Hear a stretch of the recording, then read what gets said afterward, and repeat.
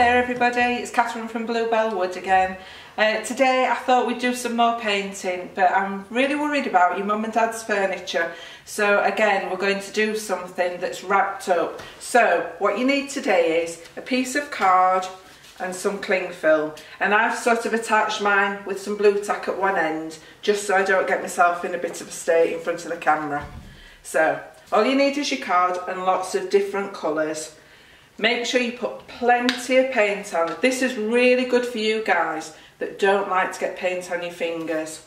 And I know some of you when you first come into Bluebell Wood can be a bit like that. But quite quickly you get used to me and end up going on covered in paint as your parents will remind you. So lots and lots of nice colours. This is nice when you want to make cards for people or calendars or just nice pictures to put on your wall. Some nice yellow. Oh, got it on the table. What is it? Here comes the messy lady. There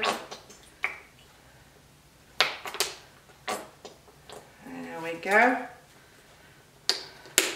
And then we'll just add a couple more colours and then we'll see what happens when we cover it up. So as you can see there's quite a lot on there but that's fine because it's going to be wrapped in the cling film. And we'll end with my favourite colour which is green. Lots of it. There we go. Right, so very carefully we're going to unravel the cling film. Now cling film doesn't normally like me, that's why you tend to see me using foil.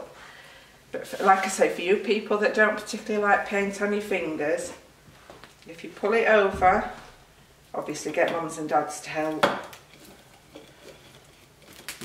Unfortunately my aunt's here to help me. And then use some scissors to, to cross it. Right to the end. Get rid of those. And then I'm going to tuck this underneath and then again at the sides so it seals it. If you want to, you can use sellotape, although the fact that it's cling film, it should hold in enough.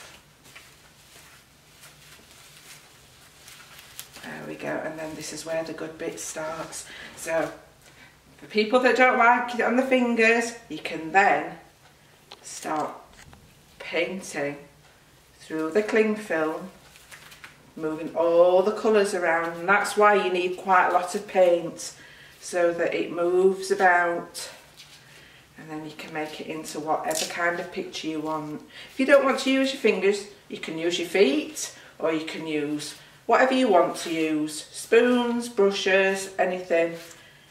And all the colours, can you see all the colours are starting to merge together and making a really, really nice picture. And then when you think you've finished your picture and you're happy with it, just get mum and dad or your carers to help. Gently take off the cling film.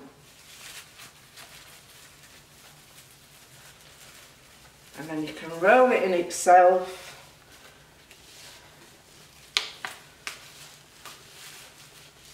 And then there's your picture. Without anybody's help, there's your masterpiece to put on your wall. It will take a while to dry, because there's a lot of paint on there. But just be patient and then I think that makes a really nice picture for you.